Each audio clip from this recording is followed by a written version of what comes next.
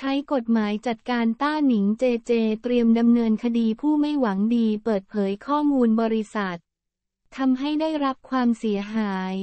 สืบเนื่องจากกรณีที่มีคนเผยแพร่ข้อมูล ของค่าย QOW Entertainment บริษัทของคู่รักนักแสดงเจเจกฤษณภูมิและต้าหนิงกัญญาวีจนทำให้บริษัทได้รับความเสียหาย ล่าสุดมีความคืบหน้าจากต้นสังกัด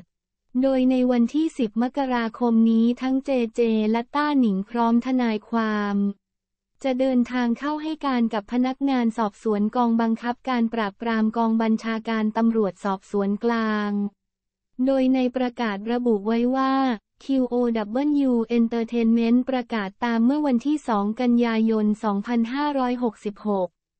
นายชิดกลหรือแตกรนนกฤษยากูลได้ทำการเปิดเผยข้อมูลที่มีประโยชน์ในเชิงพาณิชย์ อันเป็นความลับทางการเคอาองค์บริษัทให้เป็นที่ล่วงรู้โดยทั่วไปเป็นผลให้ความลับทางการค้านั้นสิ้นสภาพซึ่งการกระทำดังกล่าวท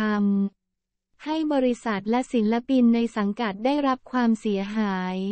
บริษัทจึงได้มอบอำนาจให้นายสาครสิริชัยทนายความเป็นผู้ดำเนินการแจ้งความร้องทุกข์ต่อพนักงานสอบสวนผอผู้รับผิดชอบกองบังคับการปราบปรามกองบัญชาการตำรวจสอบสวนกลางเมื่อวันที่ 30 พฤศจิกายน 2566 เพื่อดำเนินคดีกับนายชิตตพล หรือแตกธนนกฤษยากุลตามพระราชบัญญัติความลับทางการค้าส 2545 จนกว่าคดีถึงที่สุดและพนักงานสอบสวนดังกล่าวได้รับคำร้องทุกข์และสอบสวนผู้กล่าวหาตลอดจนพยานที่เกี่ยวข้องไว้แล้วเพื่อที่จะได้ดำเนินการส่วนที่เกี่ยวข้องตามกฎหมายและสืบขยายผลต่อไป